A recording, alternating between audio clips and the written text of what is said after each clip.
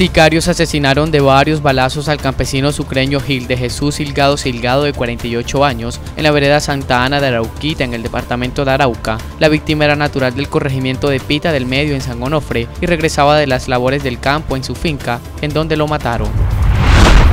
En el barrio Tierra Grata de Cincelejo, la policía capturó a Kevin Andrés Bernal Otero de 21 años, que se movilizaba en una motocicleta y contra quien figuraba una orden de captura por el delito de hurto agravado. El sujeto quedó a disposición de la fiscalía.